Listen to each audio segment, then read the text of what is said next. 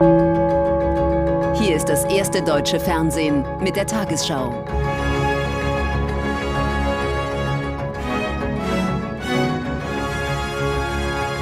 Heute im Studio Julia Niharika-Sen.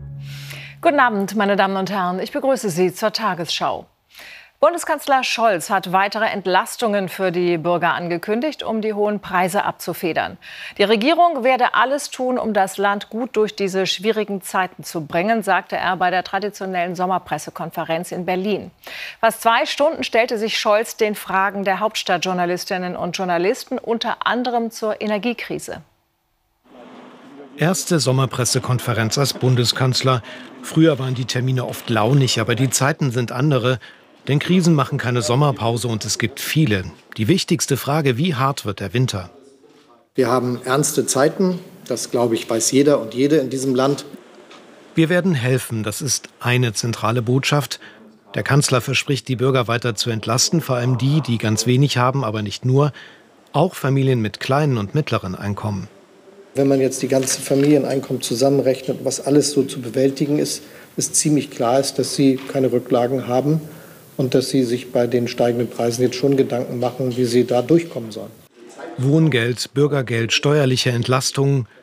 Da wolle man was machen, sagt Olaf Scholz, und das könne sich das Land auch leisten und trotzdem nächstes Jahr wieder die Schuldenbremse einhalten.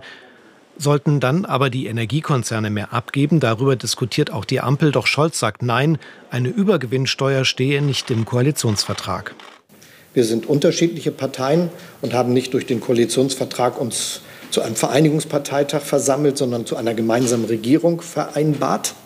Und das werden wir auch hinkriegen und weitermachen. Und dann geht es um die eigene Vergangenheit, Hamburg und den Cum-Ex-Skandal.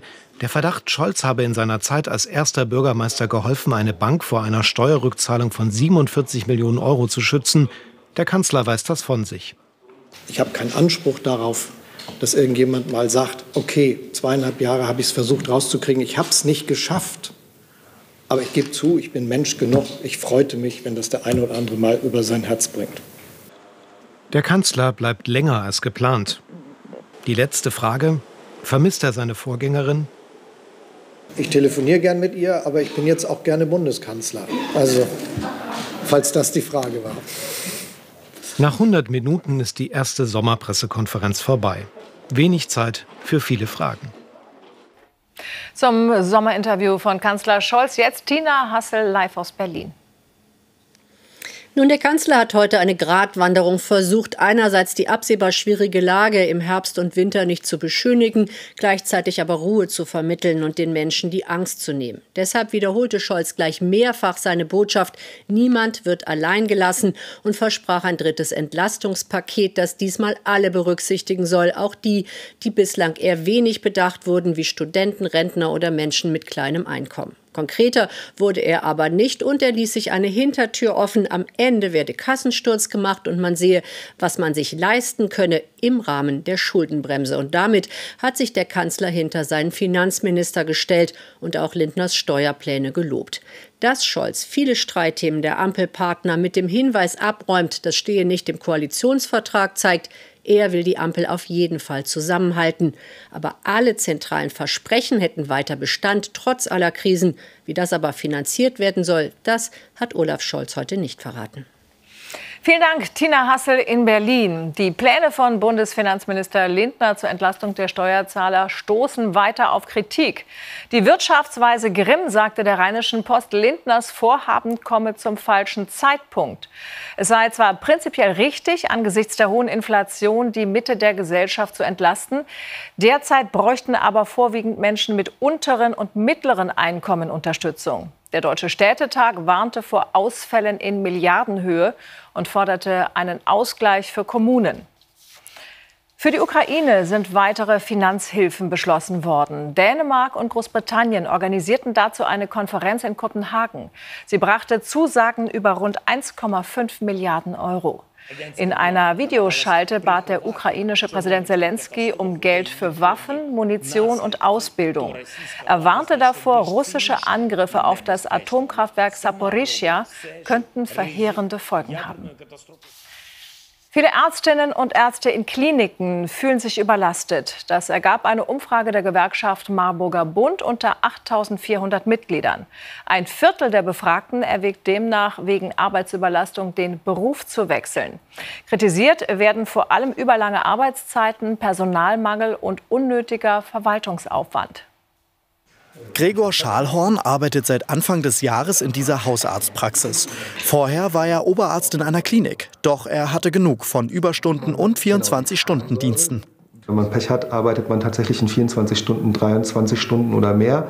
Mein persönlicher Rekord liegt bei 23,5 Stunden reiner Arbeit.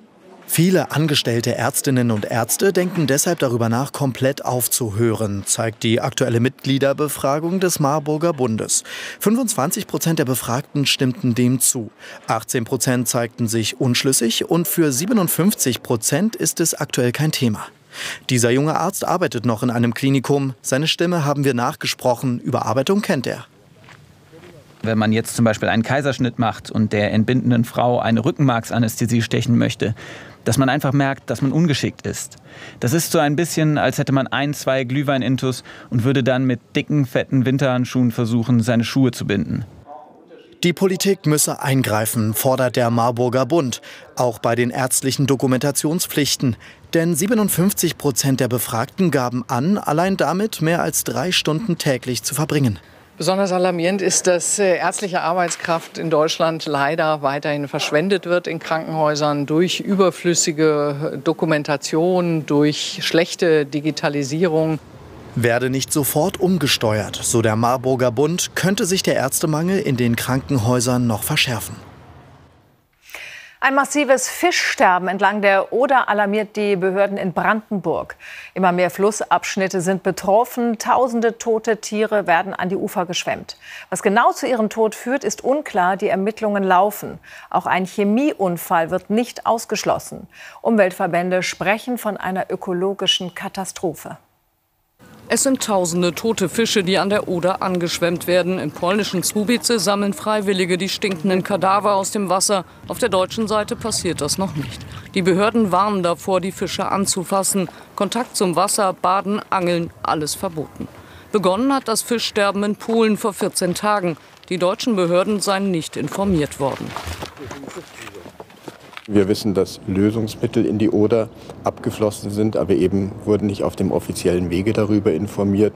Wir wurden aufmerksam dadurch, dass ein Schiffführer beim Landeslabor äh, Berlin-Brandenburg angegeben hatte, tote Fische gesehen und gefunden zu haben. Wasser- und Fischproben werden jetzt vom Landeslabor analysiert. Doch das könnte Tage dauern, weil niemand weiß, wonach man suchen soll. Der Schaden für die Fischerei und für die Umwelt bisher nicht absehbar. Das, was wir jetzt sehen mit den toten Fischen, die an der Wasseroberfläche schwimmen, ist tatsächlich nur der Gipfel des Eisberges. Viel, viel schlimmer und auch langfristig schlimmer sind tatsächlich die Schäden, die die Tiere und äh, Kleinstlebewesen im Wasser haben, die im Sediment an den Pflanzen leben. Auffällig ist derzeit der hohe Sauerstoffgehalt der Oder. Wegen der Temperaturen müsste der deutlich niedriger sein. Das Landeskriminalamt und die polnischen Behörden ermitteln wegen des Verdachts auf ein Umweltdelikt. Die fünf Gletscher in Deutschland schrumpfen offenbar im Rekordtempo. Auf der Zugspitze sei die Schmelze rund sechs Wochen weiter fortgeschritten als um diese Jahreszeit üblich, berichten Experten für Polar- und Meeresforschung. Ursachen sind danach ein schneearmer Winter und trockenheißer Sommer, vor allem aber der sogenannte Sahara-Staub. Die dunklen Partikel haben sich im Frühjahr auf den Gletschern abgelegt, mehr Sonnenenergie geschluckt als der weiße Schnee und ihn so schneller schmelzen lassen. Mehr als 1000 Feuerwehrleute kämpfen im Südwesten Frankreichs weiter gegen Waldbrände, den dritten Tag in Folge. Mehrere europäische Staaten haben inzwischen Unterstützung geschickt. Besonders betroffen ist das Departement Gironde an der Atlantikküste. Bei Bordeaux haben die Flammen seit Dienstag tausende Hektar Wald zerstört. Tausende Menschen mussten ihre Häuser verlassen. Ruinen. Mehr lässt das Feuer nicht übrig. 17 Häuser sind im Südwesten Frankreichs schon zerstört. 10.000 Menschen mussten sich in Sicherheit bringen. Das Feuer war direkt vor meinem Haus. Das ist heftig, wenn man diese Flammen sieht. Und man muss einfach weg und weiß nicht, ob das Haus noch steht, wenn man zurückkommt. Die Feuerwehrleute kämpfen gegen die sich ausbreitenden Flammen. Eigentlich waren die Waldbrände, die seit Mitte Juli wüteten, unter Kontrolle. Die Behörden vermuten, dass sie durch Brandstiftung wieder angefacht wurden. Temperaturen bis zu 40 Grad und die starke Trockenheit erschweren die Löscharbeiten. Die französische Premierministerin spricht von extremen klimatischen Bedingungen. Wir sind dabei, unsere Mittel zu verstärken, um in Zukunft besser gegen Brände gewappnet zu sein. Und wir müssen uns auf solche Ereignisse vorbereiten, die mit dem Klimawandel zusammenhängen. Um die Einsatzkräfte zu unterstützen, sind die ersten Feuerwehrleute aus Deutschland eingetroffen. Auch aus anderen europäischen Ländern soll Hilfe kommen. Im Freizeitpark Legoland im bayerischen Günzburg hat es einen schweren Unfall auf einer Achterbahn gegeben. Wie die Polizei mitteilte, bremste ein Zug stark ab, ein weiterer fuhr auf. Mindestens 31 Menschen wurden verletzt, einer von ihnen schwer. Feuerwehr und Rettungsdienst waren mit einem Großaufgebot im Einsatz. Der Park blieb trotz des Unfalls geöffnet.